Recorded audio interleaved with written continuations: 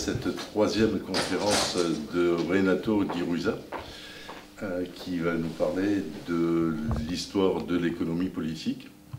Et puis aussi, merci à Cométique qui met à notre disposition son matériel vidéo. Et puis, merci au lycée Jules Curie de nous accueillir encore euh, jusqu'à la fin juin, mais l'année prochaine aussi. Je vous souhaite une excellente soirée. Pensez à rallumer vos téléphones en partant. Bien. Eh bien, écoutez, je vais continuer euh, et reprendre euh, là où je m'étais arrêté euh, lors du cours précédent. J'espère que vous vous en souvenez. Je m'étais arrêté à la définition de la valeur d'une marchandise, des marchandises, chez Marx. Hein, c'était le thème de ce cours. Et j'avais défini la valeur d'une marchandise, que j'avais appelée M, comme euh, étant égale à la somme du travail, de la quantité de travail mort, qui est, euh, que j'avais défini comme étant la quantité de travail qu'il était nécessaire de fournir pour produire les objets et les moyens de travail, c'est-à-dire les machines, les outils, les matières premières, les produits semi-finis, etc. Donc somme de la quantité de travail mort et de la quantité de travail vivant, c'est-à-dire la quantité de travail que les ouvriers, les salariés, etc., devaient fournir pour produire là où les marchandises en question. Euh, cette quantité de travail vivant, en fait, va se diviser en deux parties. Il va y avoir une partie qui va correspondre à la rémunération de ceux qui travaillent. Alors la rémunération de ceux qui travaillent, qu'est-ce que c'est? Marx fait euh, l'hypothèse, c'est la première fois qu'on fait cette hypothèse, que le travail lui-même n'est pas une marchandise. Le travail est la mesure de la marchandise, c'est la substance de la valeur, mais ce n'est pas une marchandise en lui-même. Donc ce n'est pas le travail qui va s'échanger, c'est la force de travail.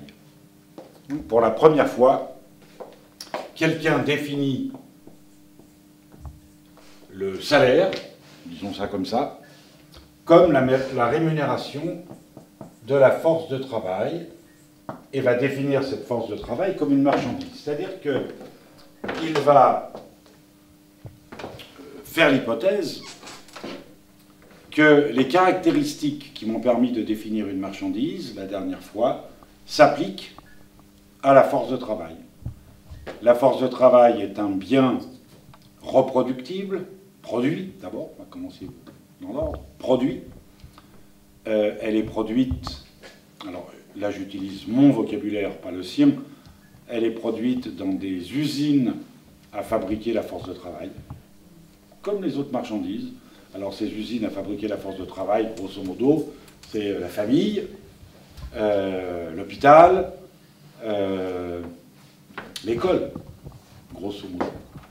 C'est là où on fabrique la force de travail. Elle est reproductible, c'est-à-dire quand elle est cassée, on la répare, quand elle est fatiguée, on la soigne, euh, elle est reproductible de jour en jour, par le repos, par la nourriture, par euh, tout un tas de, choses, elle est reproductible d'année en année, elle est reproductible de génération en génération euh, par la reproduction naturelle des êtres des êtres humains. Donc elle est produite, elle est reproductible et elle est euh, susceptible de satisfaire un besoin de la société, puisque les capitalistes ont besoin de force de travail pour faire tourner euh, leurs usines. Donc la force de travail est une marchandise, et comme toutes les marchandises, elle a une valeur. Et comme toutes les marchandises, la valeur de la force de travail, c'est la quantité de travail qu'il faut pour la produire. Quantité de travail socialement nécessaire, etc. etc. C'est-à-dire qu'on va compter dans la valeur de cette marchandise, euh, force de travail, la quantité de travail qu'il faut pour euh, élever les gosses, les torcher, euh, les, faire manger, les éduquer, les soigner, etc., etc. Et, évidemment, cette valeur de cette marchandise, force de travail, diffère selon les forces de travail qu'on veut produire. Hein, si on veut produire des manœuvres, des OS, eh ben, il faudra moins dépenser moins de travail que si on veut produire un ingénieur. Euh, si on veut reproduire un manœuvre, il faut dépenser euh, moins de travail que pour reproduire un ingénieur, etc. etc. Hein, et, c'est ce qui va justifier euh, la hiérarchie des salaires. Hein, si les salaires sont différents, c'est-à-dire si les valeurs de la force de travail sont différentes, c'est parce que la quantité de travail qu'il faut pour les produire et les reproduire sont euh, différentes.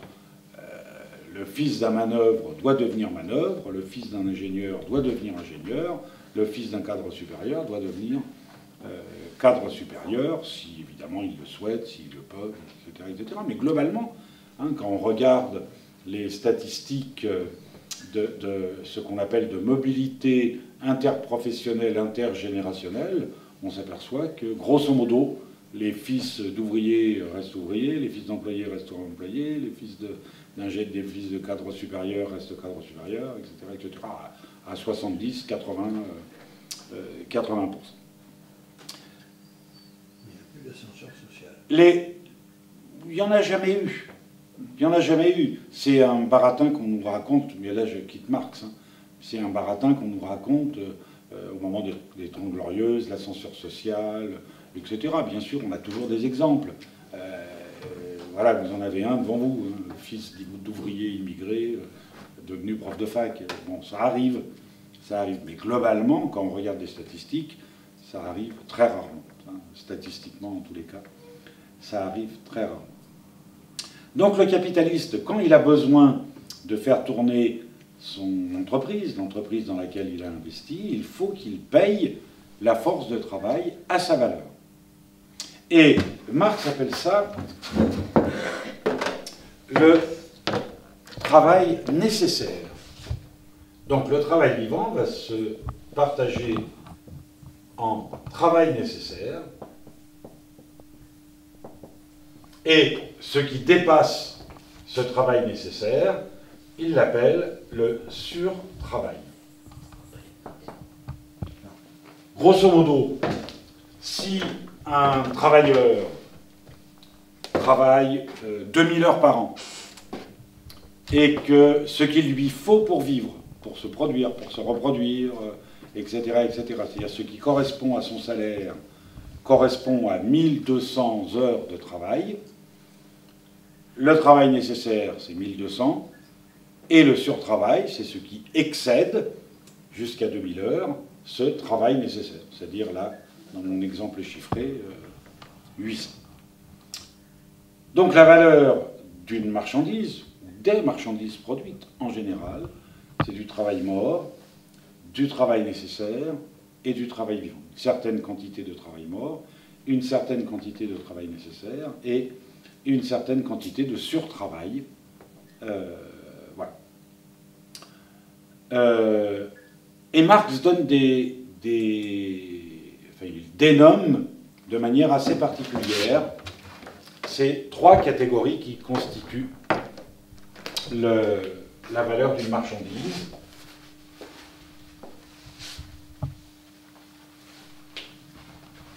Le travail mort, il l'appelle capital constant, le travail nécessaire, il l'appelle le capital variable, et le surtravail, il l'appelle sur plus-value, plus survaleur ou plus-value. Et donc la valeur des marchandises produites, c'est toujours la somme entre le capital constant, le capital variable et la plus-value. Toujours. Le capital constant, c'est la quantité d'argent que le capitaliste est obligé d'avancer pour acheter les machines, les bâtiments, les outils, les matières premières, objets et moyens de travail, comme je l'ai défini la dernière fois. Le capital variable, c'est la quantité d'argent que le capitaliste est obligé d'avancer pour acheter la force de travail. Et la survaleur, ou la plus-value, c'est ce qui lui reste à la fin. Et évidemment, à partir de là, Marx dit, ben voilà, si ce qui lui reste à la fin correspond à la survaleur ou à la plus-value, euh, ça veut dire que le capitaliste s'approprie une partie du travail vivant, tout ce qui excède ce qui revient aux salariés. Et par conséquent, il y a une exploitation des travailleurs par l'appropriation du surtravail ou de la plus-value par les capitalistes. Alors il faut bien voir que l'exploitation, hein, ça n'est pas du vol. Dans, ce petit modèle, en quelque sorte, hein, que Marx euh, définit, les travailleurs, tous les biens sont vendus à leur valeur. Hein, la force de travail est rémunérée à sa valeur. Hein, il n'y a pas de vol. C'est juste que le surtravail est approprié par les capitalistes du fait qu'ils sont propriétaires des moyens de production. Je vous renvoie au cours euh, de la dernière fois. D'ailleurs, il, a beaucoup bataillé contre Proudhon, hein, par exemple, sur ce thème. Proudhon disait euh, la propriété, c'est le vol, le capitalisme, c'est le vol, etc. Et Marx disait non, c'est pas du vol. Hein, l'exploitation, ça n'est pas du vol. Les travailleurs sont payés comme il se doit, à leur valeur, à la valeur de leur force de travail. Il n'y a, pas de, vol euh, là-dedans. C'est une des difficultés d'ailleurs avec ce concept d'exploitation qu'on a lorsqu'on discute avec des salariés et qu'on leur demande euh, pour eux, qu'est-ce que c'est que l'exploitation?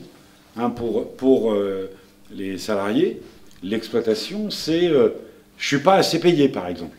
Hein, c'est la réponse spontanée euh, qu'ils font. Or, c'est pas du tout ça. S'ils étaient payés un peu plus, ils seraient quand même exploités. Hein, c'est pas parce qu'ils ils auraient 200 euros de plus par mois qu'ils qu'ils ne seraient plus exploités. Hein, l'exploitation, c'est vraiment l'appropriation du travail, du surtravail, hein, euh, que les, salariés sont amenés à faire et qui dépasse la valeur de leur force de travail, ce qui leur est nécessaire pour vivre, se reproduire, etc., euh, etc. Donc voilà, ça c'est le, modèle euh, de la valeur. Hein, il n'y a pas de mystère, c'est des définitions toutes simples d'une certaine manière. Hein. Trucs très euh, compliqués. S'il y a des choses qui vous gênent, vous me le dites, essayez de vous expliquer mieux. Mais en tous les cas, il n'y a pas de choses euh, très compliquées. Alors, je vais garder cette égalité entre la valeur d'une marchandise et ses composantes, hein, c'est-à-dire ce que Marx appelle le travail, le, capital constant, le capital variable et la plus-value. Vous pouvez me demander pourquoi il appelle ça capital constant et ça capital variable. On n'en sait rien. On n'en sait strictement rien. Pourquoi il y en a un qui est constant et l'autre qui serait variable, alors que c'est la quantité d'argent que les capitalistes sont obligés d'avancer soit pour acheter les moyens et les objets de travail, soit pour acheter la force de travail. Mais à partir de là, donc, il définit le capital. C'est quand même le titre de son bouquin, hein, le, capital. Et il dit, bah, le capital, il le définit de manière euh, bestiale, euh, comment dire, trivial. un capital, c'est une somme d'argent qui fait des petits. C'est ça un capital. Une somme d'argent qui fait des petits. Et donc cette somme d'argent dans le processus qui constitue le capital grossit. Elle devient une somme d'argent A' qui est égale à la somme d'argent mise au départ plus quelque chose qui lui rapporte. Voilà, c'est ça euh, le capital. C'est exactement, j'ai un capital, je le mets à la caisse d'épargne, et au bout d'un an, j'ai les intérêts. C'est exactement euh, la définition du capital. Et l'idée de Marx, c'est de dire, pour que cette somme d'argent fasse des petits, il faut nécessairement qu'elle passe par le processus de production de marchandises. Ça ne peut pas être autrement. Une somme d'argent, quand vous la mettez dans un coffre, elle ne vous fait pas de petits tout seul. Voilà. Il faut forcément qu'elle passe par le processus de production. Et donc, cette somme d'argent grand A doit permettre d'acheter des moyens de travail, des objets de travail et des forces de travail, lesquels vont produire des marchandises qui vont être vendues et qui vont donner une somme d'argent à prime qui sera égale à la somme d'argent mise au départ plus quelque chose. Quand la somme d'argent A achète des moyens et des objets de travail, c'est le capital constant. Quand la somme d'argent achète la force de travail, c'est le capital variable. Et donc, le petit a, c'est forcément la plus-value. Forcément. Pour que le capital existe, il faut qu'il y ait une plus-value. Pour que le capitalisme existe, par conséquent, il faut qu'il y ait une plus-value. C'est ça le capital. Le capital, c'est ce processus qui permet à une somme d'argent, en passant par le processus de production, de faire des prix. Et après, il définit ce qu'on appelle le taux de profit. Le taux de profit, je reprends cette formule-là, je vais appeler le taux de profit pi parce que c'est le, symbole qu'on retient habituellement. Qu'est-ce que c'est? C'est la somme d'argent qu'on obtient à l'arrivée, moins la somme d'argent qu'on met au départ, sur la somme d'argent qu'on met au départ. C'est ça le taux de profit. Vous mettez 1000 euros à la caisse d'épargne, vous avez 1050 euros à la fin de l'année, votre taux d'intérêt, la caisse d'épargne on parle de ça, eh bien ça va être 1050 moins 1000 rapporté à 1000, c'est-à-dire 5%. Hein. Et évidemment, si on remplace A' A par ce que j'ai indiqué là, on s'aperçoit que le taux de profit, A' moins A, c'est la survaleur, le plus-value, et A, c'est plus V. A permet d'acheter C plus V, on produit une marchandise, on la vend, on la vend à sa valeur, et sa valeur c'est C plus V plus S, donc petit a est égal à S. Donc là, on a une formule du taux de profit qui est euh, la formule de base de la théorie de Marx. Formule de base. Si, on n'a pas cette formule, on ne peut rien comprendre à Marx. Donc je vais, je vais la garder et je vais euh, la développer un petit peu. Ça va, vous me suivez?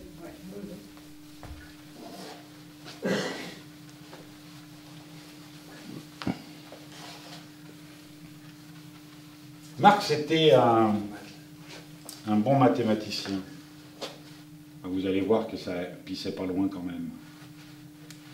Il savait, vous savez certainement aussi, que lorsqu'on a une fraction, là par exemple, on peut diviser le numérateur de la fraction et le dénominateur de la fraction par une même grandeur, un même nombre, sans changer la valeur de la fraction. Donc il va diviser le numérateur et le dénominateur de la fraction par un même nombre, V. Et donc il va avoir une formule du taux de profit qui va s'exprimer de la manière suivante, qui va s'écrire de la manière suivante. Au numérateur, on va avoir S divisé par V. Et au dénominateur, on va avoir C divisé par V plus V divisé par V. Voilà, formule magique du capitalisme chez Marx. Qu'est-ce qu'elle nous raconte, cette formule? Elle nous raconte que le taux de profit que réalisent les capitalistes va dépendre de deux variables. La première, ça va être plus-value sur capital variable. Qu'est-ce que c'est plus-value sur capital variable? C'est la manière de euh, partager le travail vivant. Une partie qui va aux capitalistes, la plus-value, une partie qui va aux salariés, la valeur de la force de travail IV. Et il appelle ça le taux d'exploitation.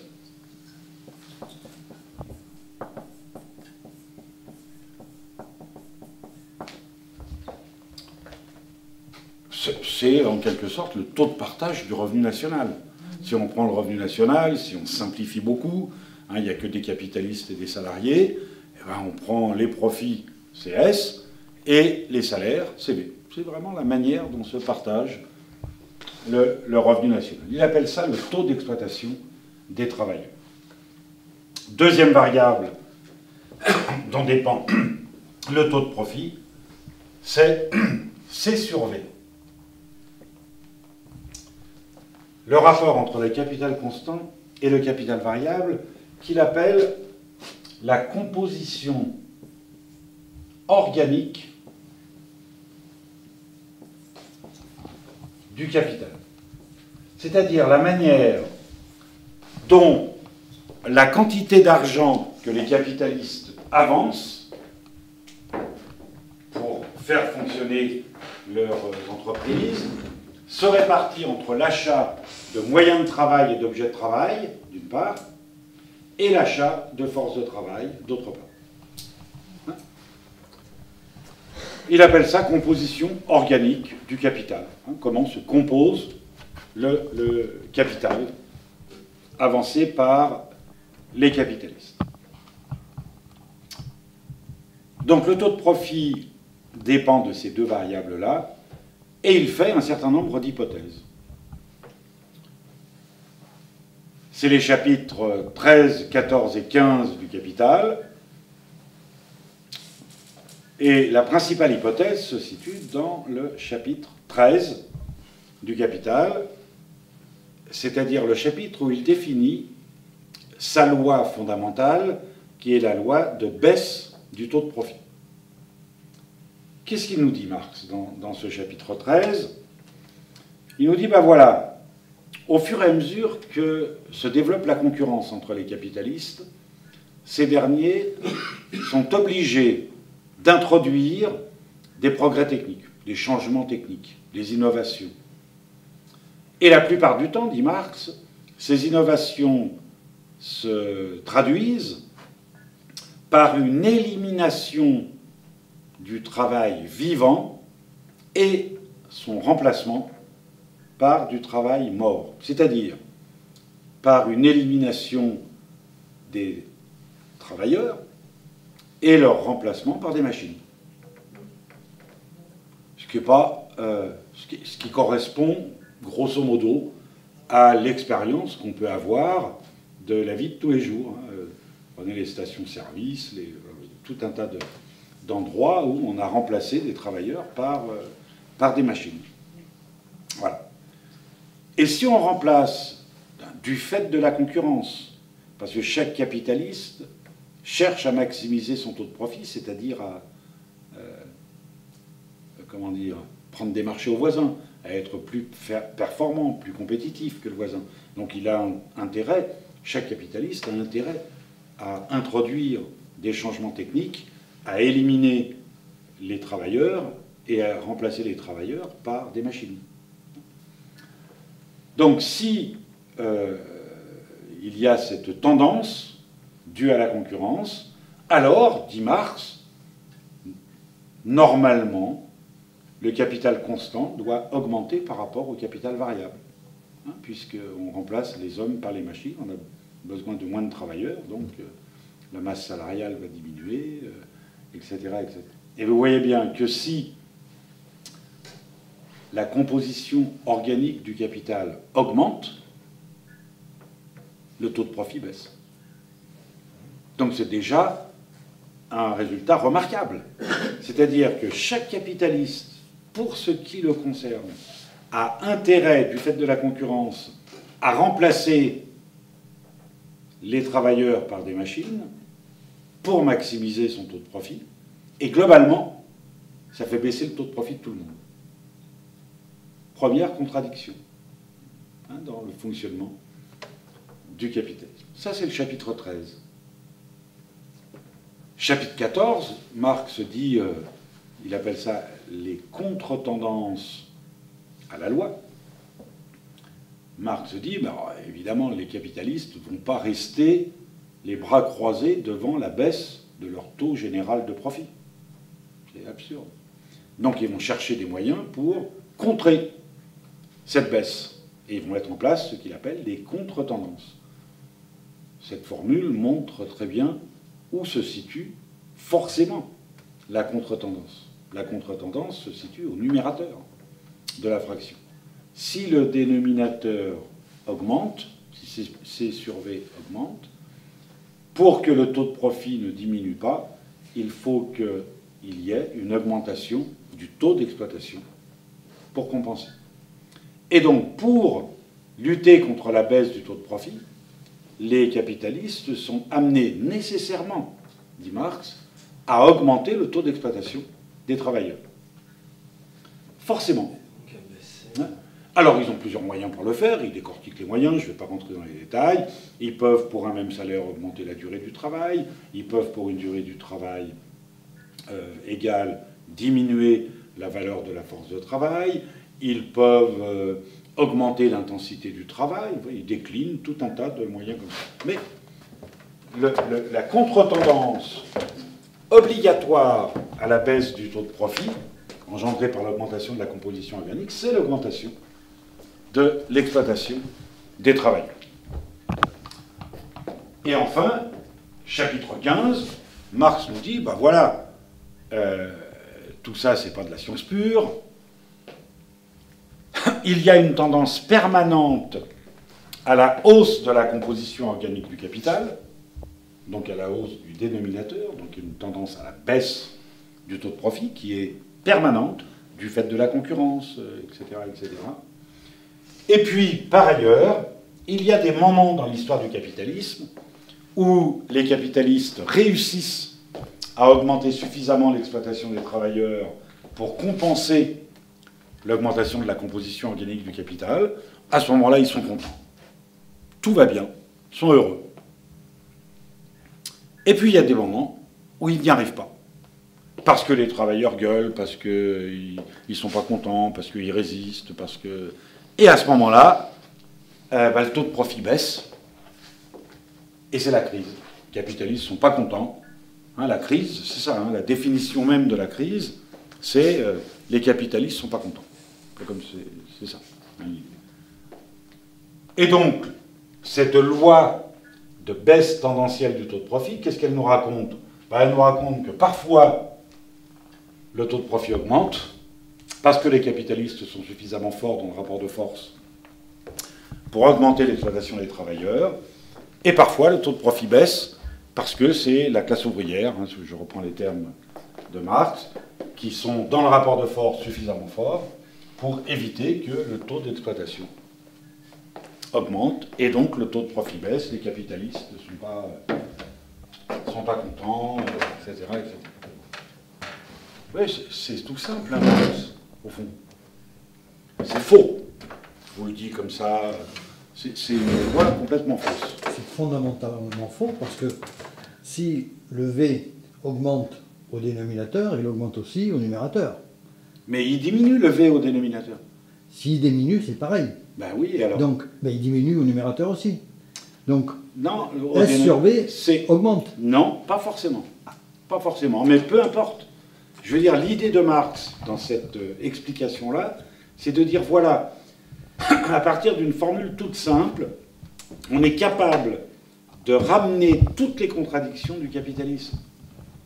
Il y a la concurrence, il y a le fait que chaque capitaliste, pour augmenter son propre taux de profit, est obligé de faire des choses qui conduisent à une baisse du taux de profit général, et il y a la lutte des classes dans le rapport de force concernant le taux d'exploitation euh, au numérateur. Hein, C'est-à-dire qu'on a, vraiment, euh, dans cette petite formule-là, hein, qui est d'une banalité crasse hein, quand même, quelque chose qui euh, est euh, tout à fait parlant.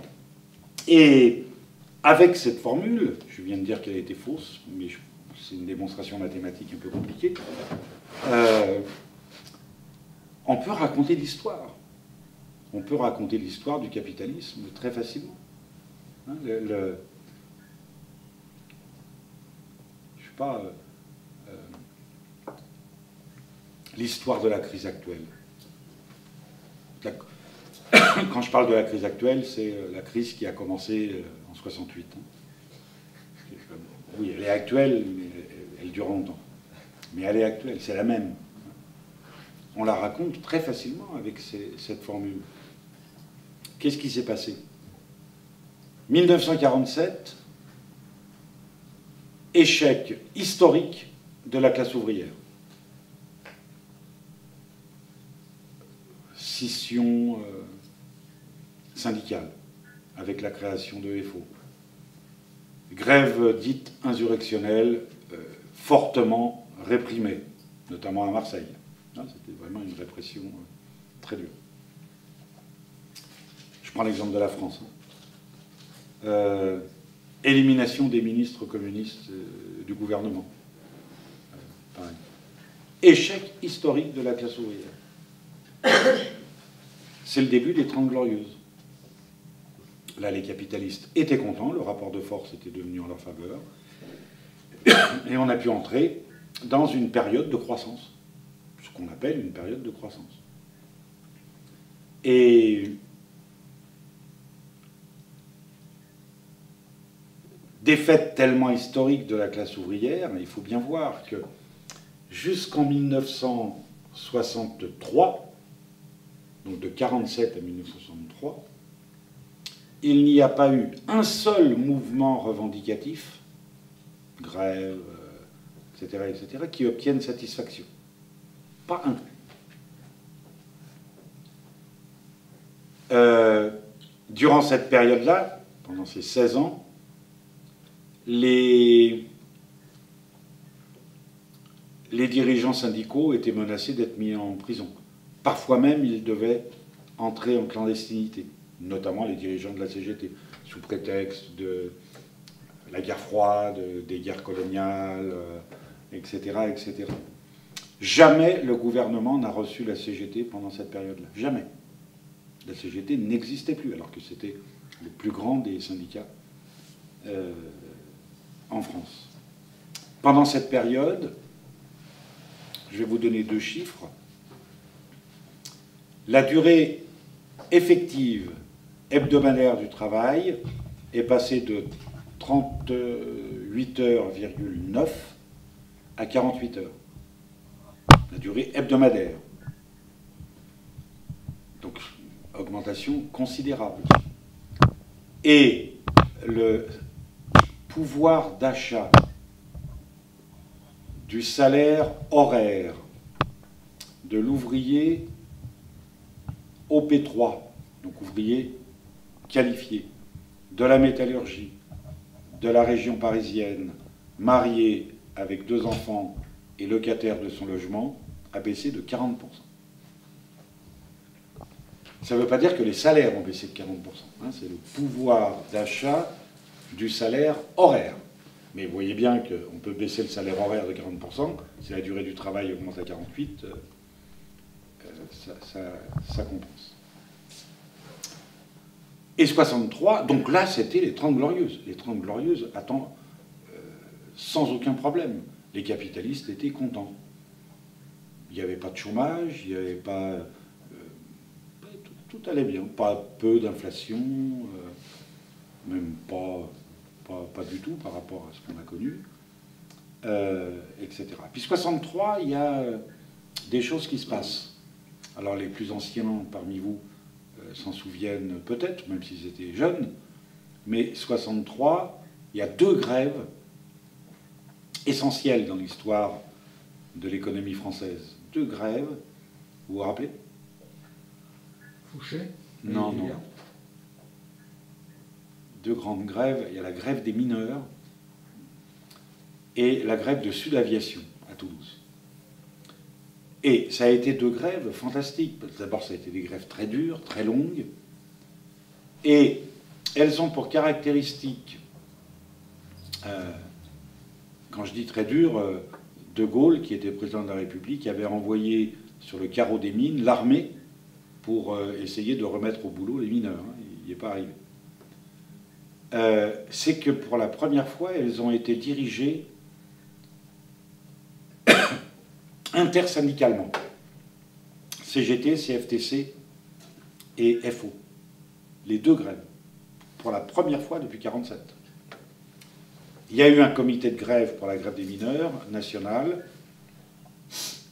qui associait CGT, CFTC, FO, l'UNEF et la FEN, qui était le syndicat des enseignants de l'époque.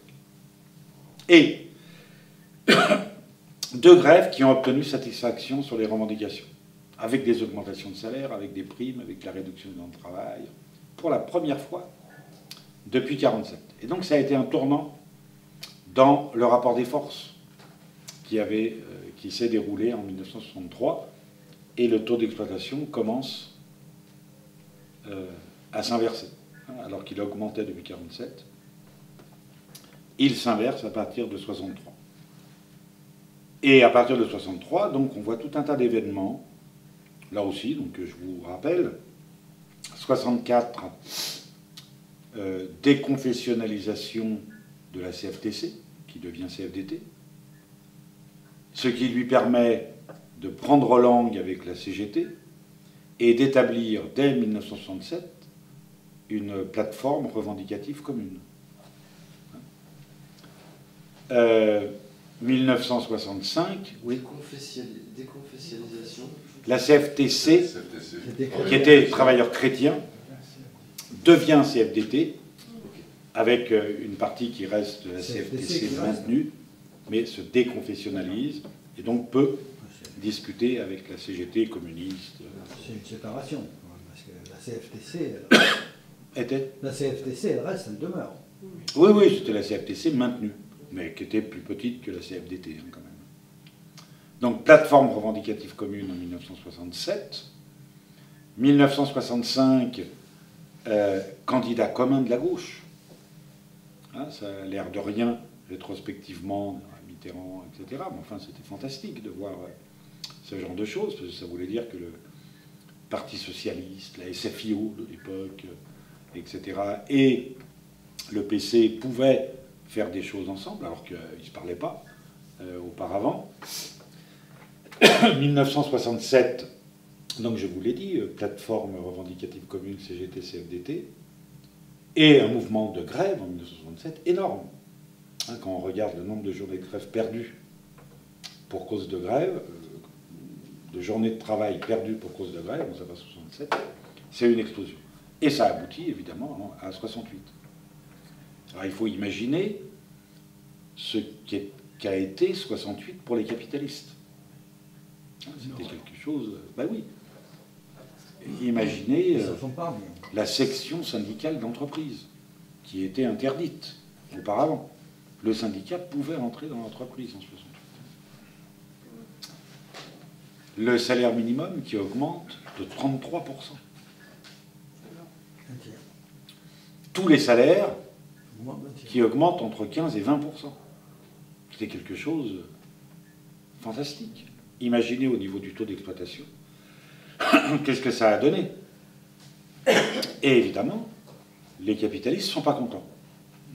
Le taux de profit baisse et on entre en crise. Donc la crise date vraiment de cette période-là. Et elle a eu des. 68 a eu des conséquences encore plus, disons, qualitatives, mais encore plus graves, qui a été la remise en cause du terrorisme. Hein, halte aux cadences infernales.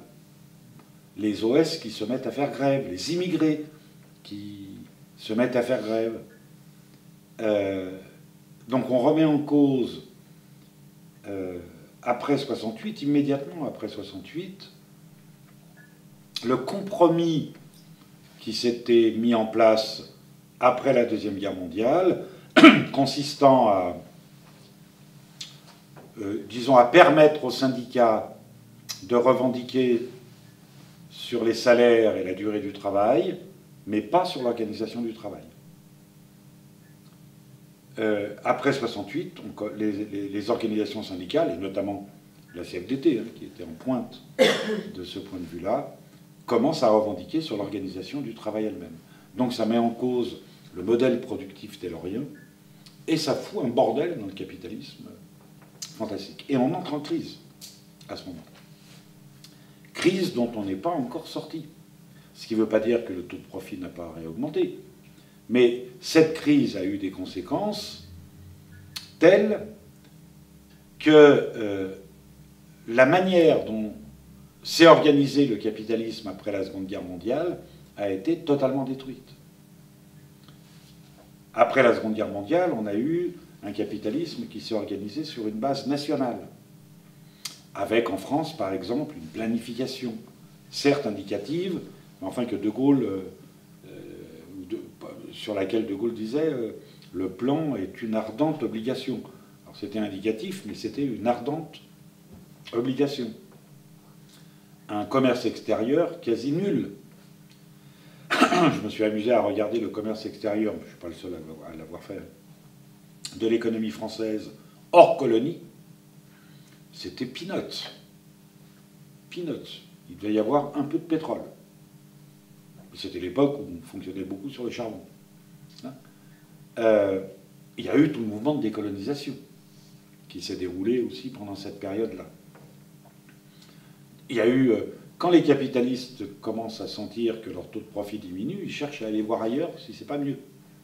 Mondialisation, qui internationalisation de la production du capital et qui a abouti à la mondialisation.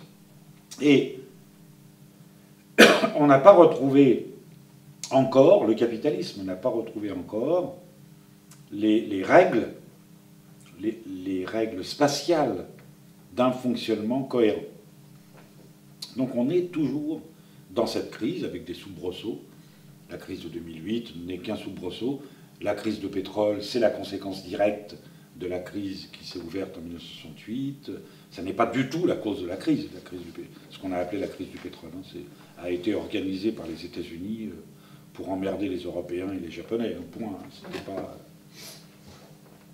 c'était pas du tout la cause de la crise. Et évidemment, quand on est en crise, quand les capitalistes ne sont pas contents, bah, ils manifestent.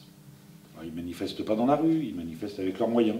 Ils arrêtent d'investir, ils créent du chômage, ils font monter les prix, euh, etc. Autant de phénomènes dont on a, qu'on a pu observer pendant cette période. Donc voilà, on peut raconter avec cette formule cette histoire.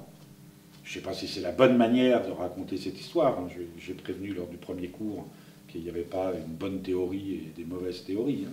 Mais on peut raconter cette histoire avec, euh, avec la théorie de Marx. Moi, ça me paraît une manière euh, pertinente de raconter cette histoire-là. Maintenant, si vous aviez un autre économiste devant vous, euh, il trouverait certainement que je fais de la sociologie, je fais de la politique, il ne raconterait pas l'histoire de la même manière. Voilà.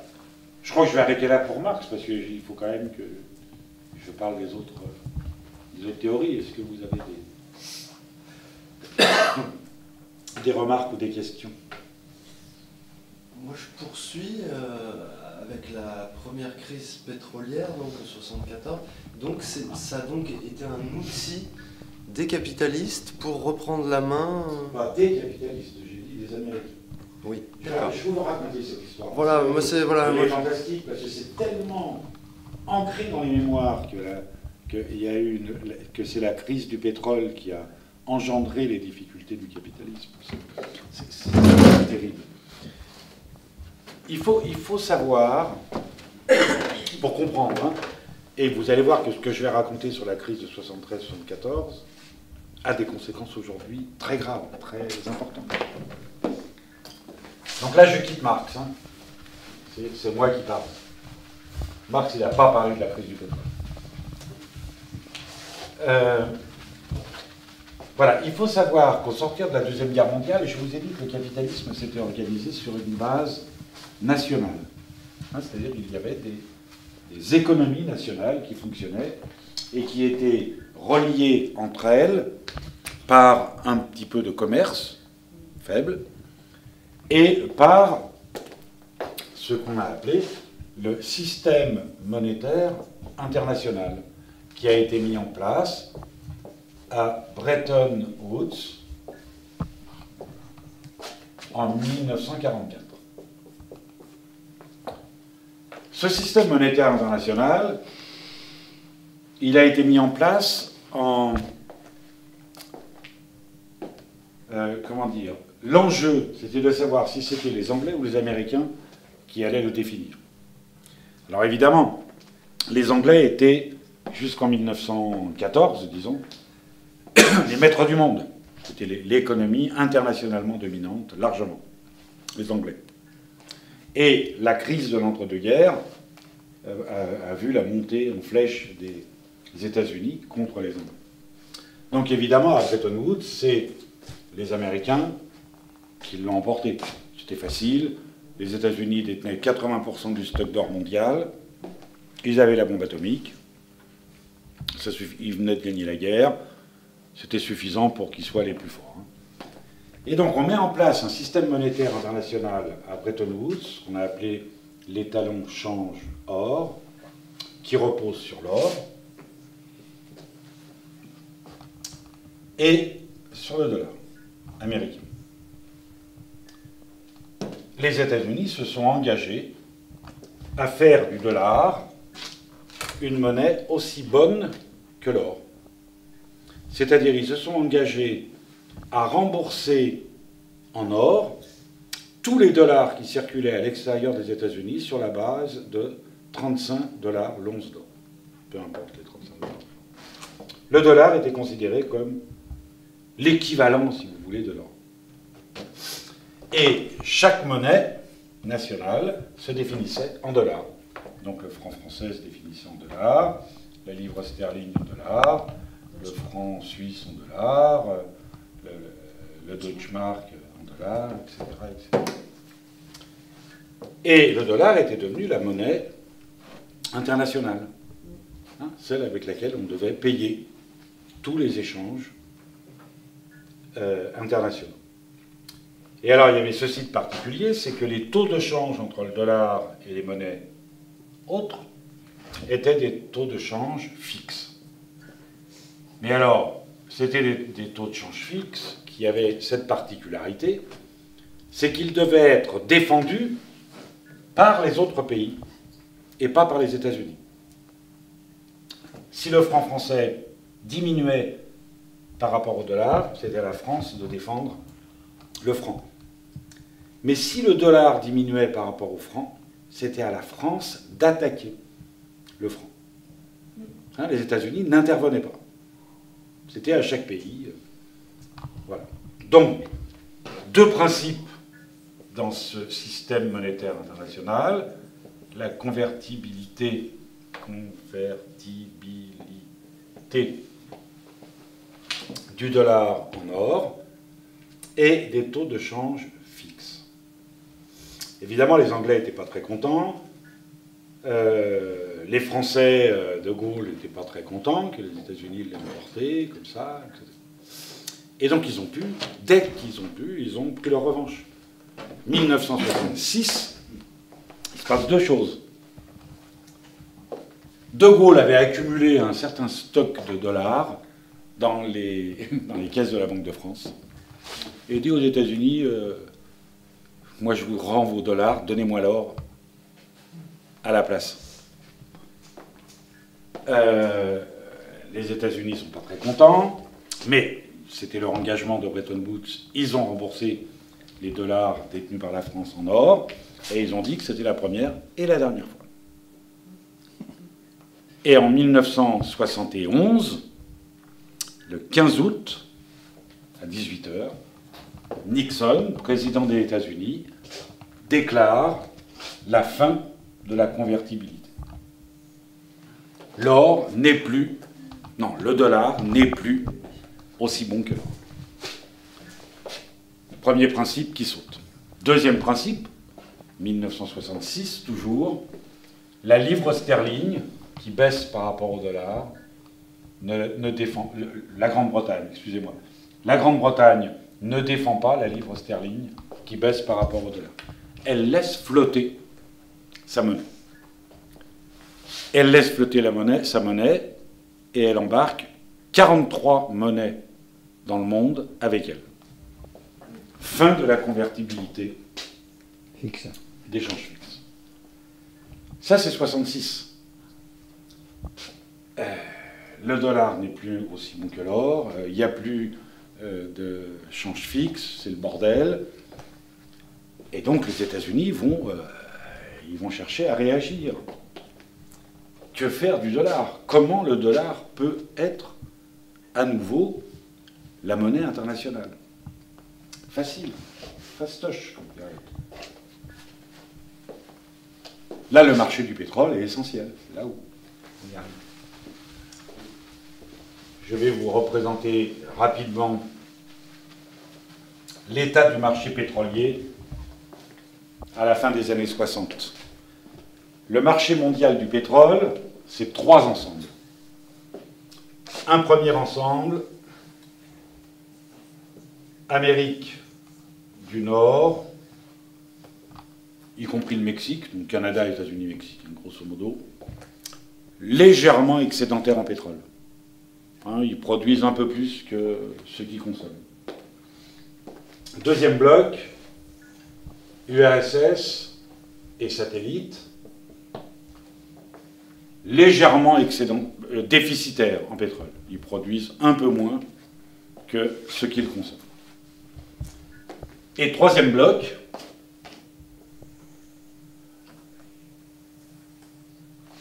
en fait, c'est deux et ce troisième bloc qui est constitué de deux ensembles.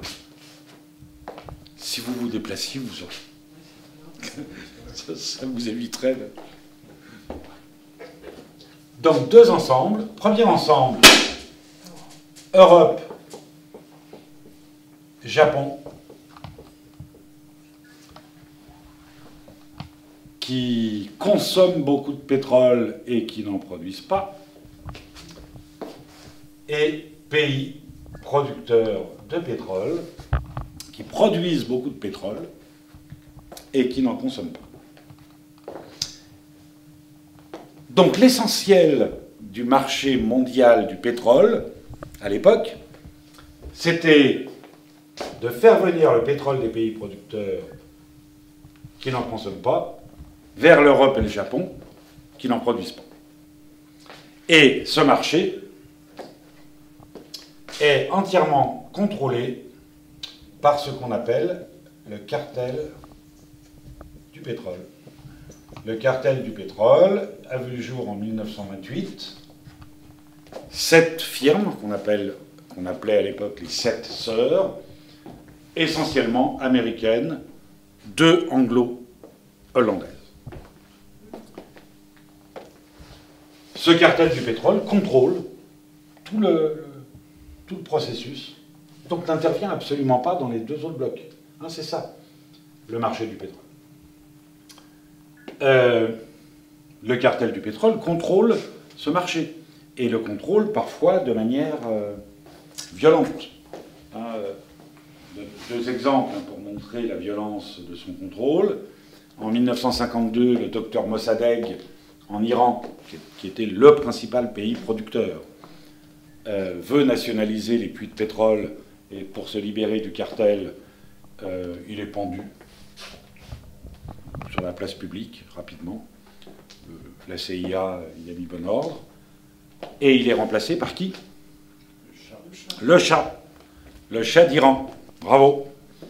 Et donc le chat d'Iran n'avait rien à refuser aux États-Unis qui l'avaient mis en place. Deuxième exemple, il y a un Italien je crois que c'est Enrico Mattei, je ne me souviens pas de son prénom, Mattei en tous les cas, euh, qui veut, lui, négocier pour l'Italie directement avec les pays, euh, avec les pays producteurs euh, de pétrole, notamment avec l'Algérie à, l'époque, et son avion, il est tombé dans le désert, je ne sais pas où, malencontreusement.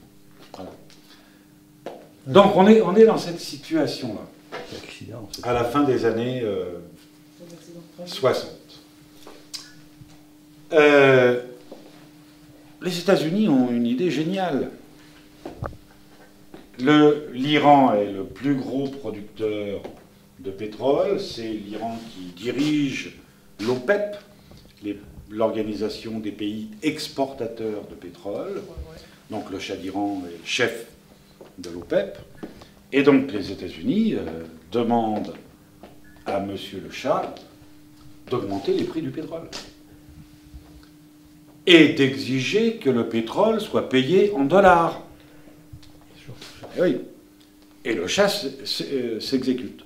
Donc en 1973, on a un quadruplement du prix du pétrole et l'OPEP exige que le pétrole soit payé en dollars. L'or devient aussi bon que le pétrole. Mais vous voyez bien que l'augmentation du prix du pétrole, ça permettait aussi aux États-Unis d'emmerder l'Europe et le Japon d'augmenter leur coût de production, de devenir plus compétitifs que l'Europe et le Japon, etc., etc. Et ça obligeait les Européens et les Japonais à avoir des dollars pour acheter leur pétrole. Sans quoi ils ne pouvaient pas. Et donc, ça renforçait le poids du dollar dans euh, l'économie mondiale. Qu'est-ce qui s'est passé? Voyez bien que ça, c'est un résultat de la crise, au moins de la crise du système monétaire international. Qu'est-ce qui s'est passé? Giscard d'Estaing est. Je vous l'ai pas dit ça, non. Le plus grand président de la République française. C'est vraiment le, meilleur, celui qui avait la vision la plus. La, vision euh, géopolitique la plus stratégique, vraiment. Euh, après, on peut, discuter de ce qu'il a fait. Hein. Mais lui, il a bien vu le coup. Qu'est-ce qu'il a fait? Les, moins jeunes, là, ici, vous vous souvenez pas de ce qu'il a fait en 60 Vous auriez fait pareil en réfléchissant un peu. Non. Le gaz de lac Hein? Il y a eu le gaz de lac à l'époque Ah, plus, plus stratégique que ça. Il a autorisé un ayatollah qui était réfugié politique ah, en France, eh à faire la révolution. Quand je dis il a autorisé, il l'a encouragé, il l'a aidé, l'ayatollah Khomeini, à faire la révolution en Iran pour chasser le chat. Euh, et évidemment, ça a réussi. Et donc, l'imam Khomeini est devenu le chef de l'Iran. C'était la première fois où il y avait une république islamiste. Première fois. En encouragé, sinon organisé, par la France. Moi, je pensais que c'était par les États-Unis. Non, non, non. Il était à Neuf-le-Château. Oui, oui, euh, le, le, le Khomeini. Et donc, le chat est chassé par la révolution islamiste. Et deux mois après, le pétrole peut être payé non seulement en dollars, mais aussi en francs, en yens en livres sterling et en Deutschmark. Et on est toujours sur cette histoire. Ce qui se passe au Moyen-Orient aujourd'hui, les événements que vous avez pu connaître, le développement de l'islamisme que vous connaissez, euh, ou des, de l'islamisme radical, etc., ça date de là. Ça date de là. Voilà, je ne sais pas si je peux aller beaucoup plus loin. Et, Peut-être pas la peine. derrière, pour reprendre la main, il y a eu la mise en place de l'Arabie Saoudite comme. euh, Ah bah après, il y a eu quelques soubresauts. Je passe sur cette histoire, hein, parce qu'après, il y a eu l'histoire du Koweït, il y a eu l'histoire de l'Irak, il y a eu euh, la guerre Irak-Iran, euh, enfin, il y a eu euh, tout un tas de, choses. Mais il faut bien voir que le, cœur, l'origine de tous les problèmes qu'on connaît aujourd'hui au Moyen-Orient, qu'on a connus dans les 20 dernières années, si au Moyen-Orient, c'est cette histoire. C'est cette histoire. Bien, ça c'était pas Marx, hein, c'était moi. Euh, vous voyez qu'on peut faire de l'économie de manière intéressante. Euh, je vais vous parler de la théorie néoclassique quand même maintenant. Quelle heure est-il?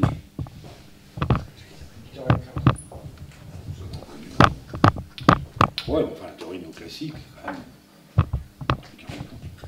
Truc vachement important.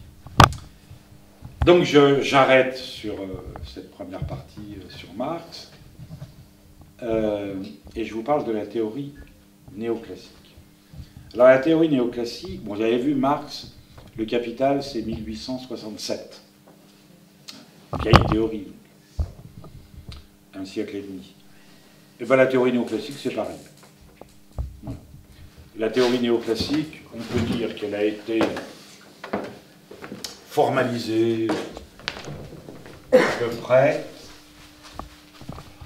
entre 1848 et 1873. Je vous- je- J'ai dû vous citer déjà euh, ces deux noms, mais je les rappelle. 1848, c'est un mec qui s'appelle Bastia, qui était essentiellement un polémiste et un homme politique, député, euh, etc., qui écrit un livre qui s'appelle Les harmonies économiques. Tout va bien dans le capitalisme. Puis harmonie. Et 1872-1873, c'est Valras qui va formaliser, y compris euh, mathématiquement, euh, la théorie néoclassique. Alors, c'est celle de Valras que je vais prendre parce que c'est- celle qui nous plombe euh, les esprits le plus aujourd'hui. Valras imagine une société dans laquelle tous les individus sont propriétaires d'un capital. Tous les individus sont propriétaires d'un capital. Et il y a trois types de capitaux, ou de ressources. Il y a les ressources naturelles, il y a les ressources humaines, et il y a les ressources artificielles.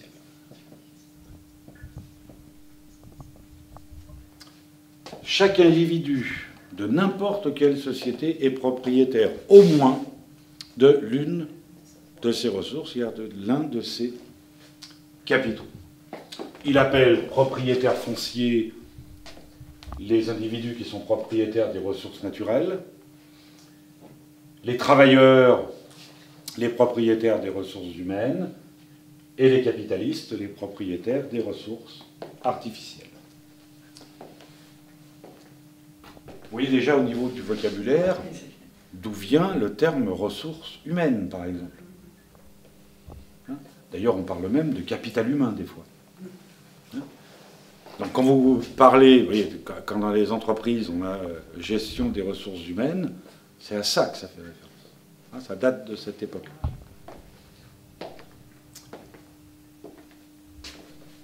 Euh, et puis, tous ceux qui le veulent, tous ceux qui le veulent, peuvent devenir entrepreneurs.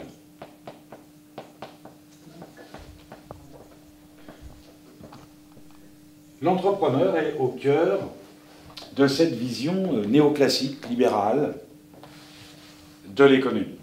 Le rôle de l'entrepreneur, c'est de louer des ressources naturelles aux propriétaires fonciers, de louer des ressources humaines aux travailleurs et de louer des ressources artificielles aux capitalistes pour produire des biens de consommation ou des ressources artificielles.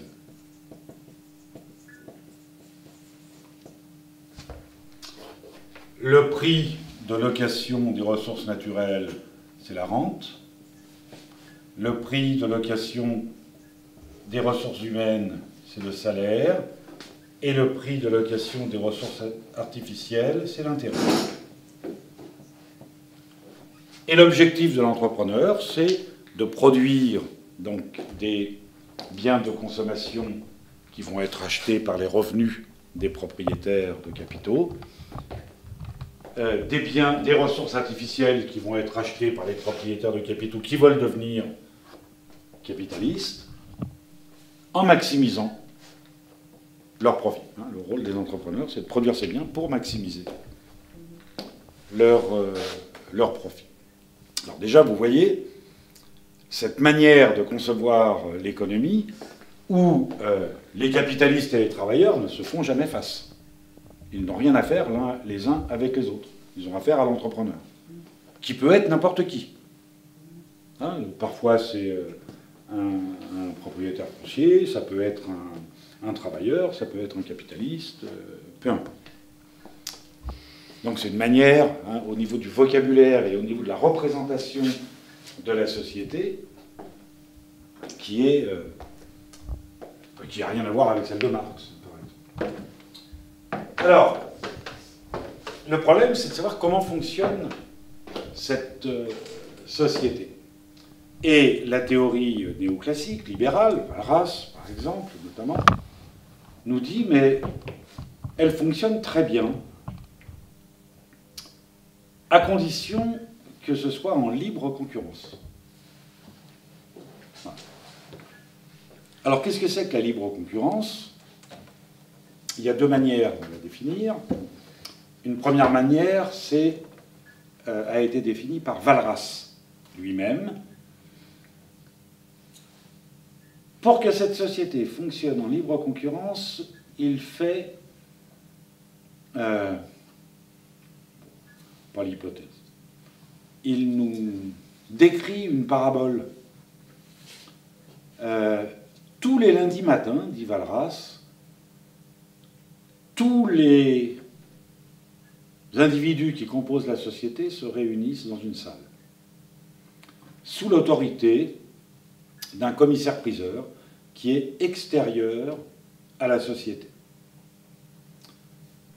Et tous les individus connaissent tous les biens qui existent dans la société, toutes les techniques qui sont disponibles, euh, et ont une, euh, rationalité hein, sur laquelle je reviendrai. Pour l'instant, je vous ai parlé que de la rationalité de l'entrepreneur. Et ont une certaine rationalité. Le rôle du commissaire-priseur, c'est d'annoncer un prix pour chaque bien.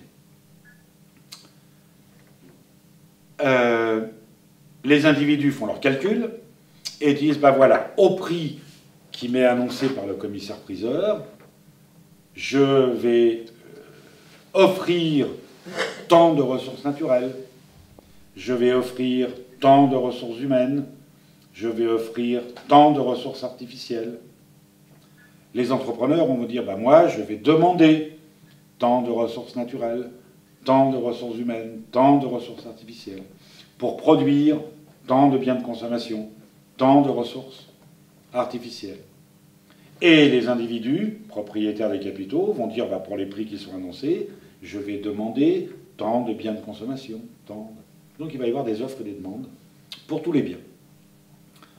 Le commissaire, donc les individus écrivent sur un morceau de papier euh, les quantités qu'ils offrent, les quantités qu'ils demandent pour chacun des biens.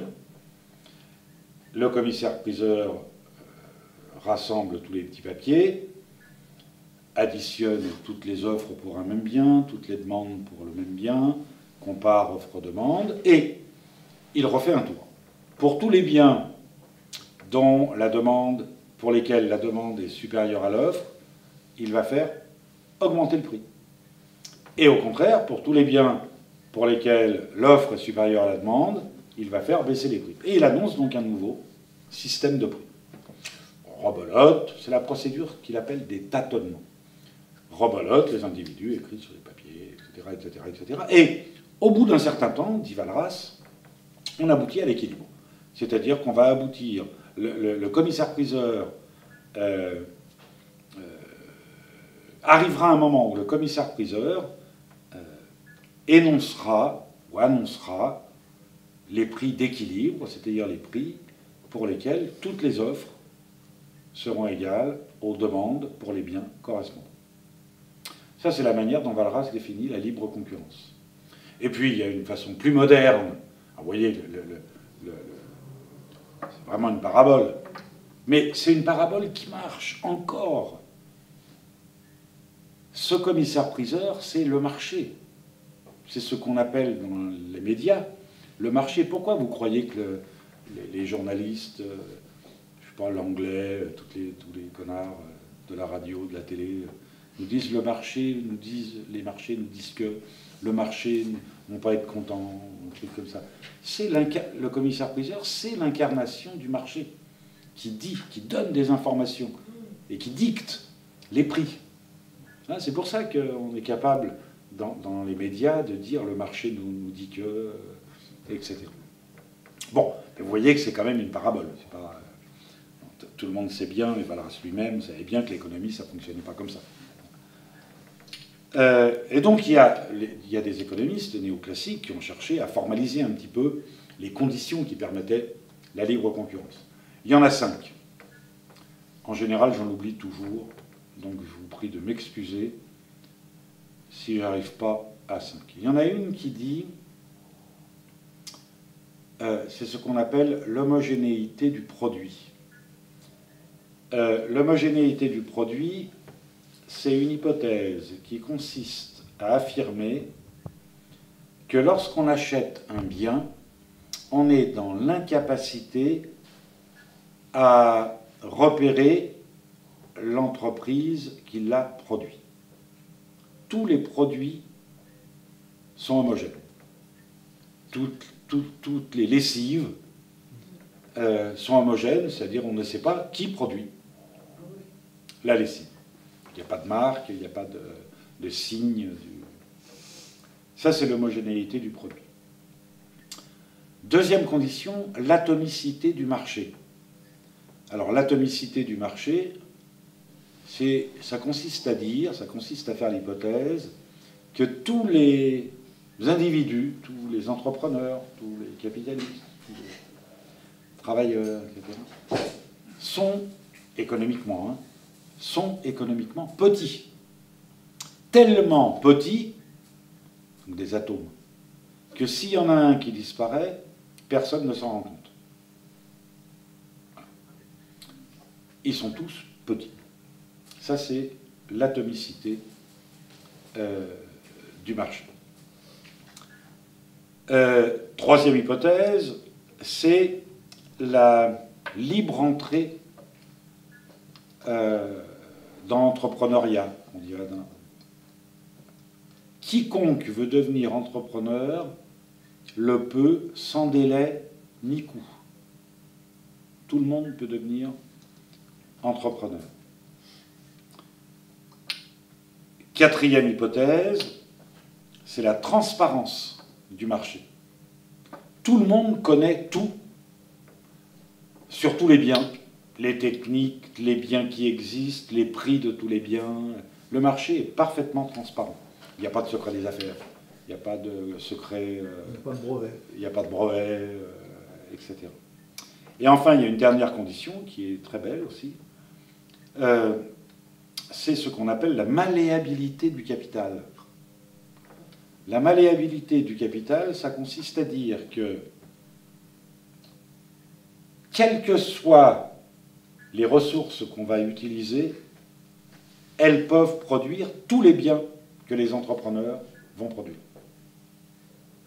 Le capital est malléable. Autrement dit, pour vous l'illustrer, avec un haut fourneau, qui est une ressource artificielle, je peux produire de l'acier et des cachets d'aspirine. Hein, voilà ce que signifie cette hypothèse. Ça, c'est les conditions de la concurrence pure et parfaite. Et si, donc, l'économie fonctionne en concurrence libre et non faussée, dirait-on aujourd'hui au niveau européen. Si l'économie fonctionne en libre concurrence, alors on se trouve dans une situation d'équilibre général. Alors dans cette situation d'équilibre général,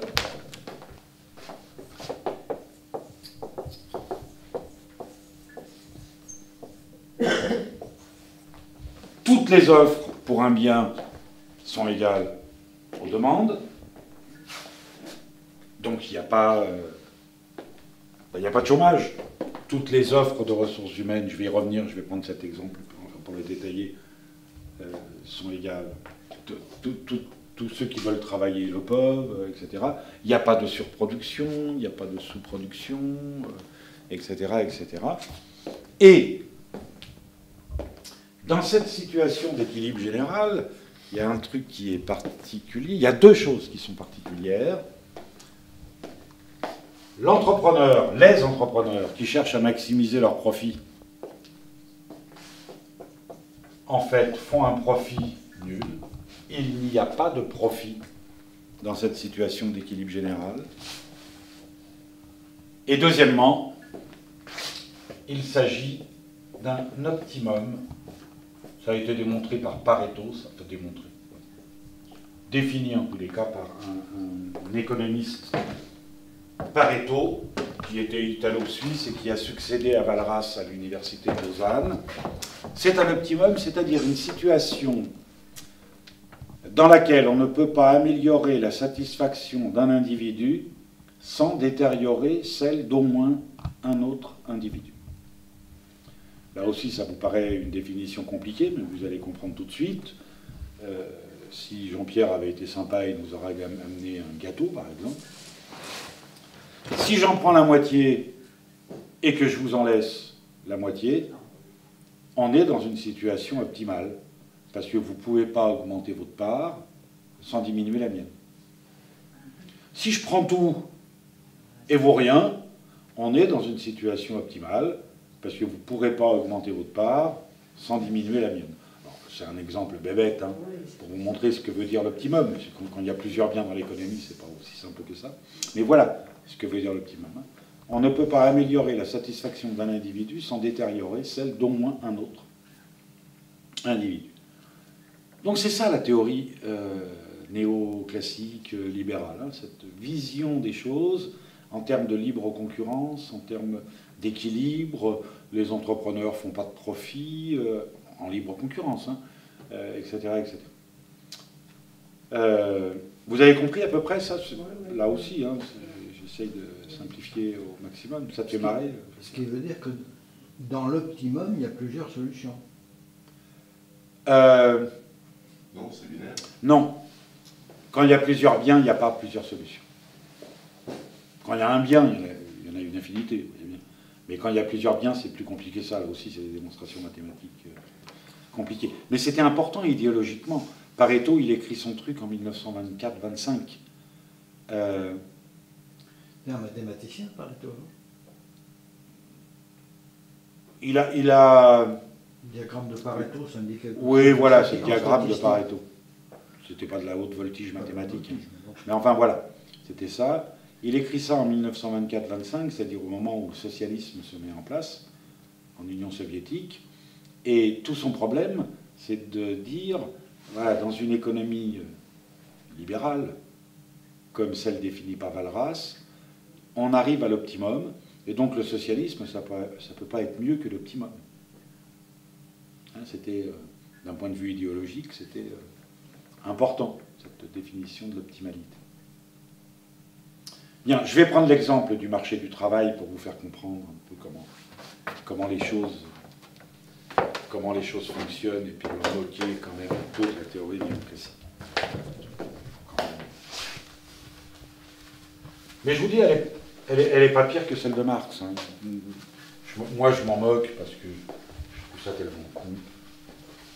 Mais vous verrez, si j'ai le temps de vous parler un peu de Keynes, je dirais beaucoup de bien de Keynes. L'année prochaine.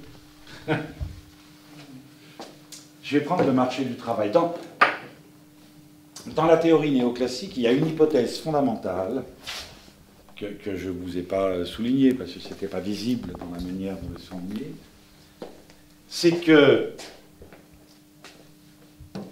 tous les prix sont définis sur un marché. Et sur un marché se rencontre une offre et une demande, toujours. Et par hypothèse, l'offre d'un bien quelconque dépend exclusivement de son prix, donc c'est une fonction du prix du bien en question, et cette fonction doit être, comme on dit en maths, croissante, c'est-à-dire lorsque le prix augmente, l'offre augmente. Et la demande dépend exclusivement du prix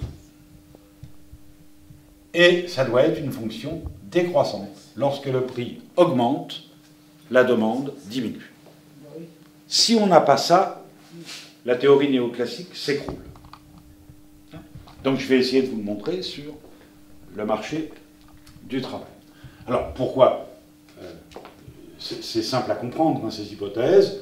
Si on fait un diagramme avec le prix en abscisse, les quantités en ordonnée, l'offre est une courbe comme ça, croissante, la demande une courbe comme ça, et vous voyez bien que si on a une qui augmente, l'autre qui diminue, forcément elle se coupe à un moment, ce qui définit un prix d'équilibre et une quantité échangée, offre égale demande, pas de surproduction, tout le monde est content, euh, etc.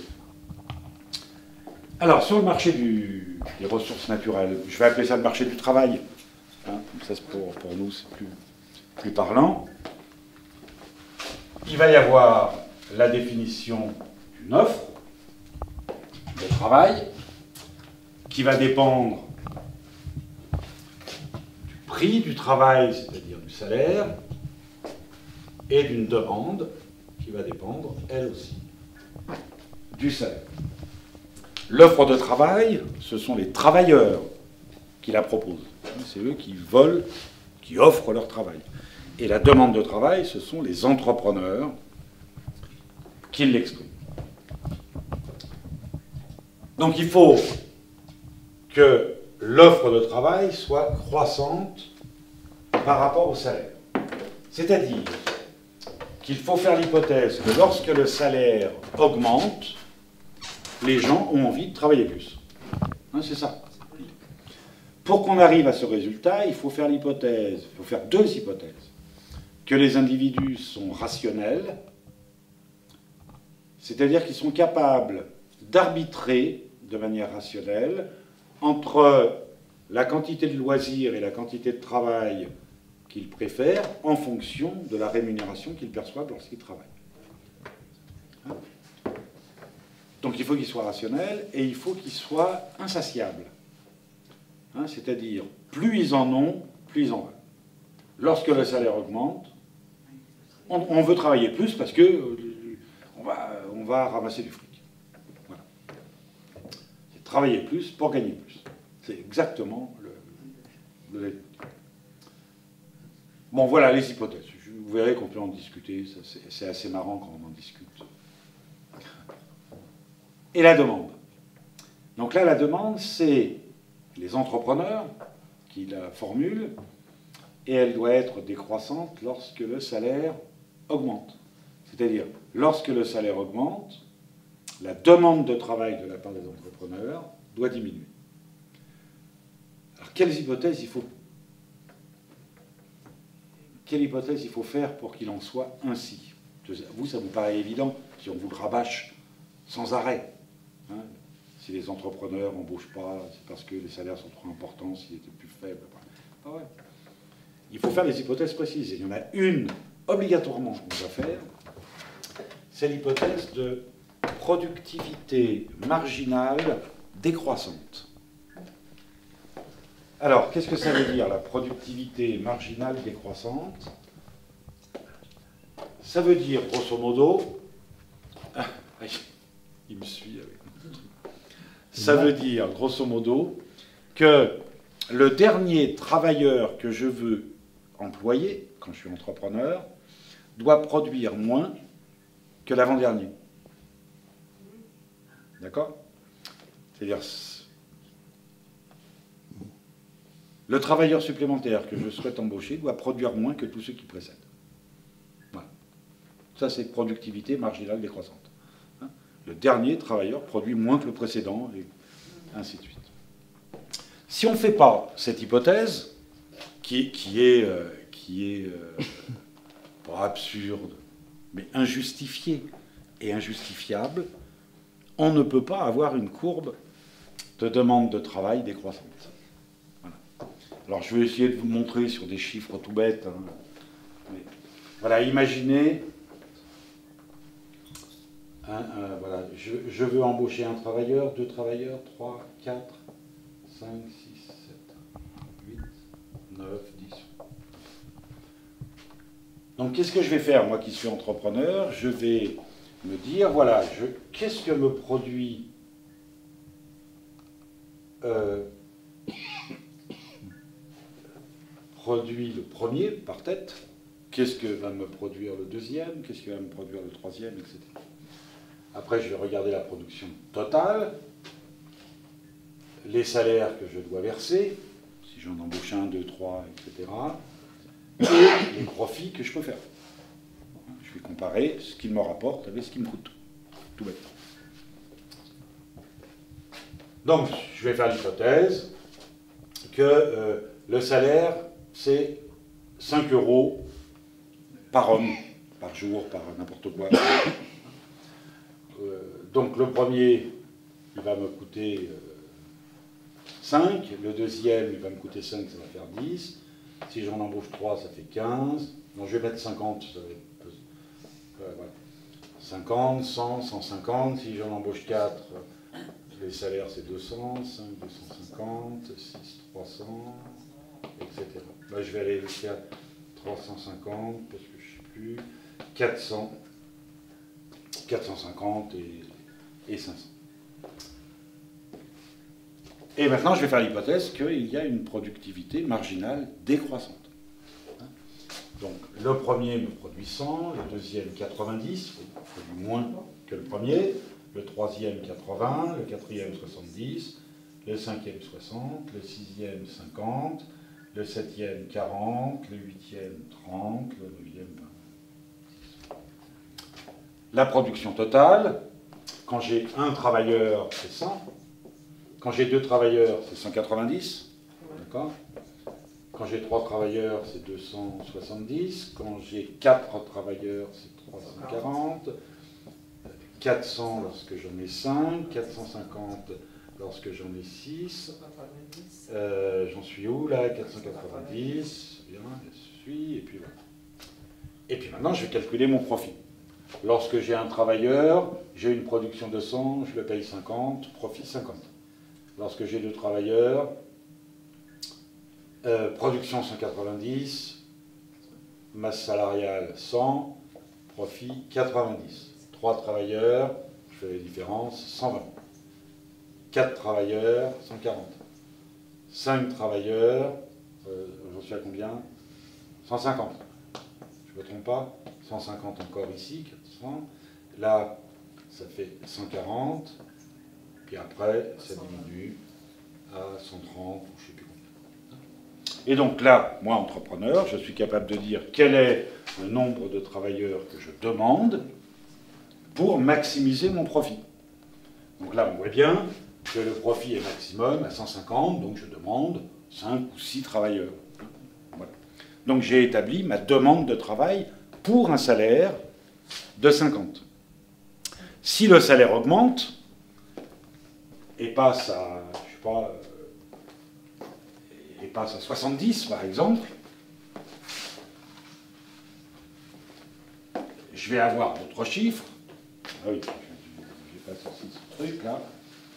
Donc si ça passe à 70, un travailleur de 70, 2, 140, 3, 210, 280, 350, 420, etc. Et là, je recalcule mon profit.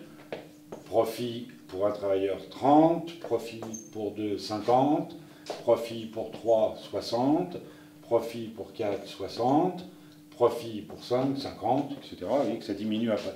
Et donc, avec le salaire qui a augmenté, je demande moins de travailleurs. Tout à l'heure, je demandais 5 ou 6, et là, je demande 3, euh, 3 ou 4. Donc, ça correspond tout à fait à la demande hein, telle que l'a définie la théorie euh, néoclassique. Bah, C'est ce qu'on vit maintenant. Hein. Hein? C'est ce que nous vivons maintenant. Non, non, non, là, il n'y a aucune espèce de raison pour que la productivité marginale soit décroissante.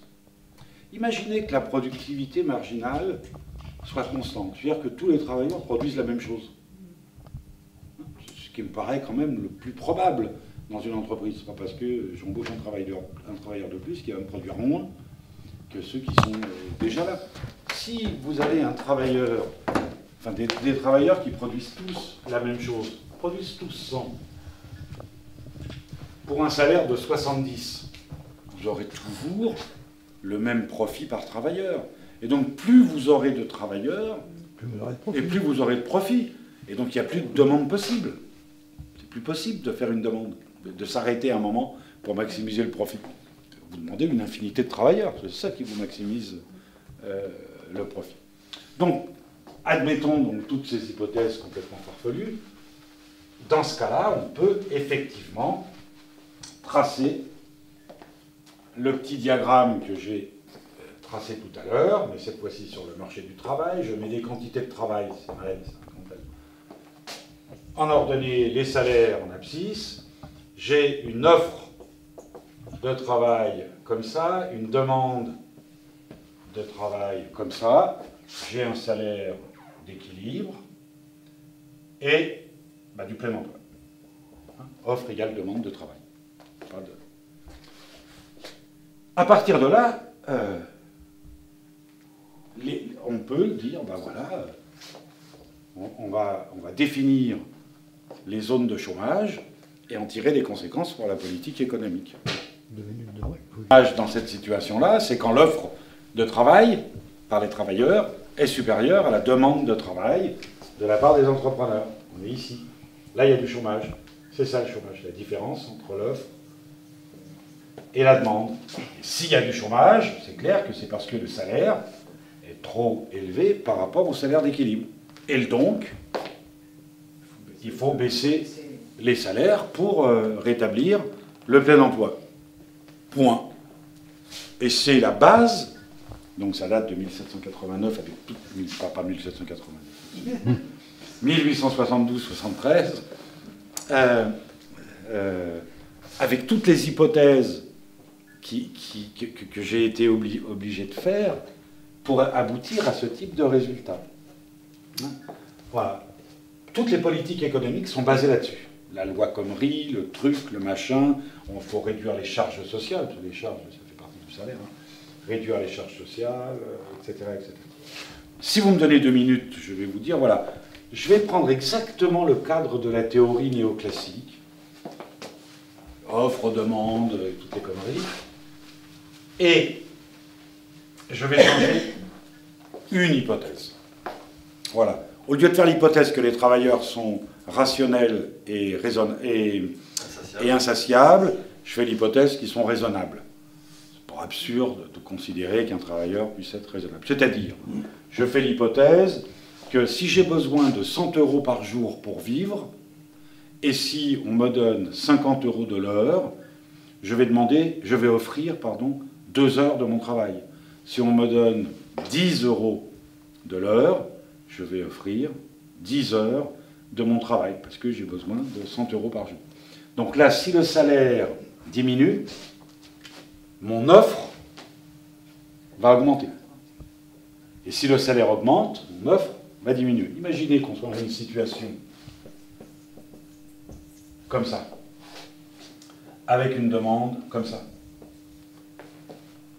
Le chômage, il est où là? Le chômage, il est là.